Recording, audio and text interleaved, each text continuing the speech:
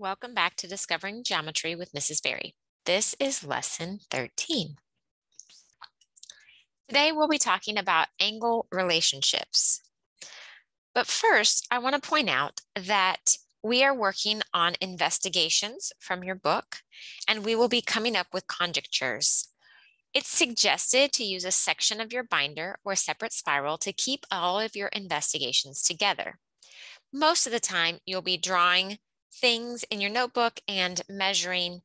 And it's a good habit um, for us to keep that all together.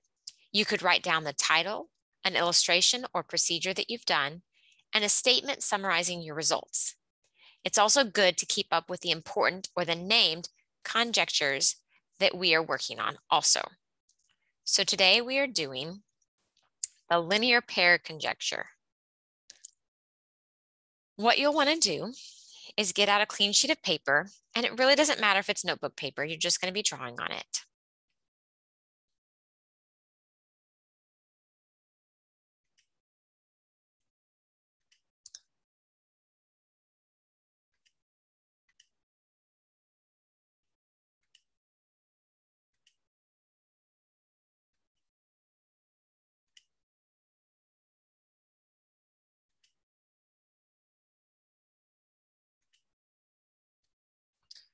We're going to draw a straight line and we're going to label it PQ.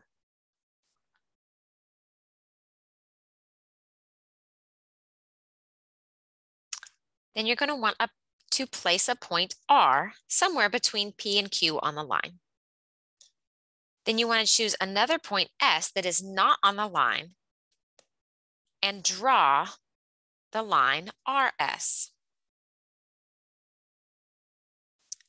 You have just created a linear pair of angles.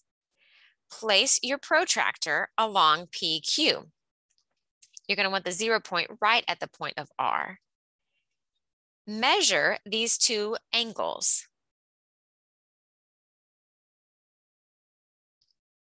What do they add up to be?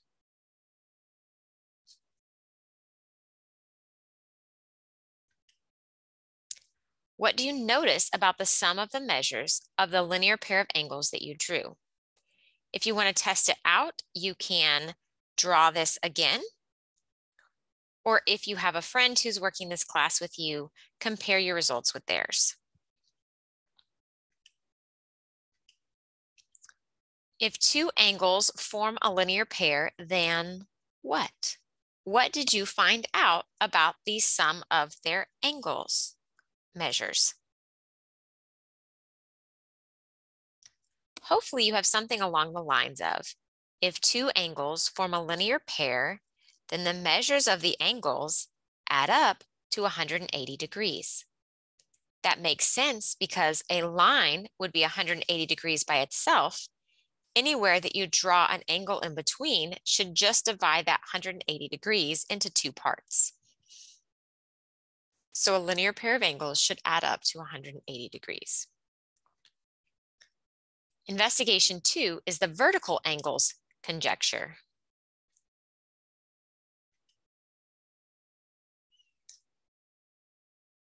For this one, you want to use paper that you'll be able to see through a little bit. Draw two intersecting lines onto patty paper or tracing paper and label the angles as shown. So one, two, three, four. Which ones are vertical angles?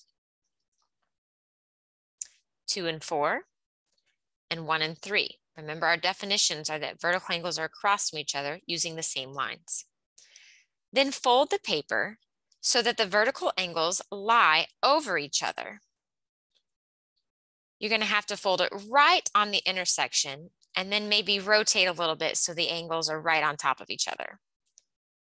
What do you notice?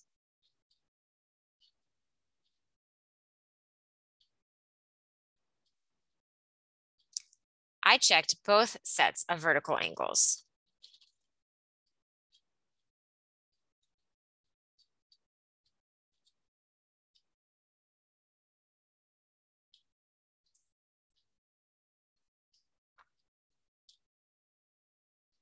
Go ahead and repeat this investigation another time with a different pair of intersecting angles.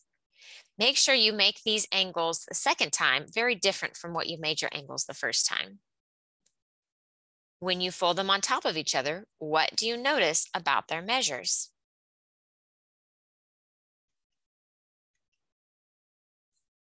So your vertical angles conjecture should start out with, if two angles are vertical angles, then what? What did you find?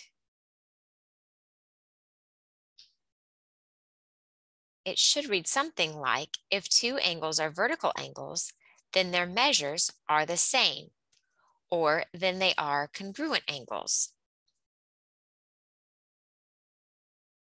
You should have found when you folded them on top of each other, they matched up exactly. Those angles would measure the same. So we've been using these investigations and our inductive reasoning to write conjectures. But do you think these two conjectures are related? Could we somehow, if we accept the linear pair conjecture as true, use it to prove the vertical angles conjecture by deductive reasoning? So remember that inductive reasoning was looking at the different cases and drawing a conclusion. Deductive reasoning would be to reason out from one to another to give the why.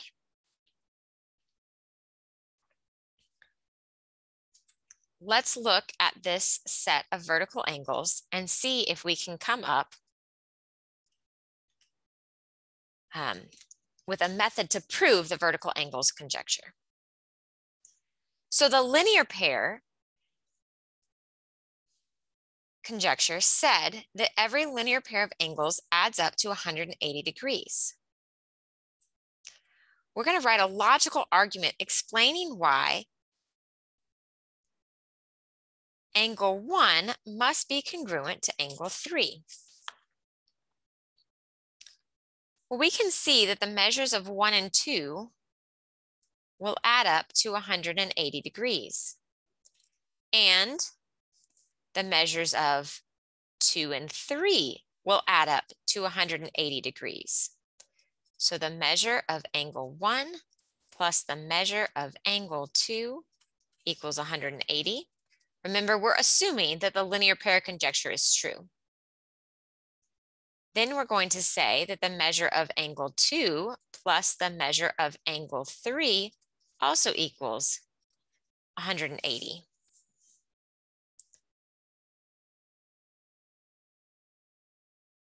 If we were to substitute this part in for that 180, we could say that the measure of angle 2 plus the measure of angle 3 is equal to the measure of angle 1 plus the measure of angle 2.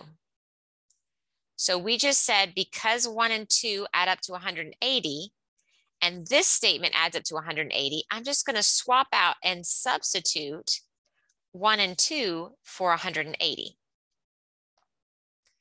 Now I have measure of angle two on both sides. What if I subtract that on both sides? I'm going to subtract the measure of angle two on both sides of the equation. That keeps my equation balanced. Now I have that the measure of angle three is equal to the measure of angle one. So one and three measure the same, meaning they're congruent angles. If we talk this out and write it as a paragraph, we would call it a paragraph proof.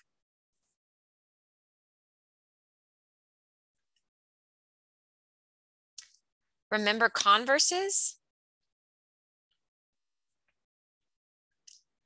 Consider the vertical angle conjecture. If two angles are vertical angles, then they are congruent. The converse would be switching the if and then parts. So in this case, the converse would be if two angles are congruent, then they are vertical angles.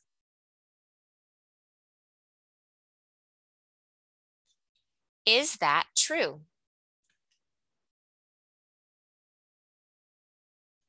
If you can find even one counter example, meaning one example that mean that finds two congruent angles that are not vertical angles, then it's not true. Here would be one example. If I have a 90 degree angle here and a 90 degree angle over here, they are congruent angles. I can mark them as congruent. But they don't use the same lines. They're not opposite of each other. So these are not vertical angles. That means that the converse of the vertical angle conjecture is not true.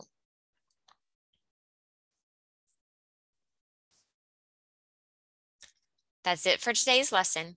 We'll see you next time.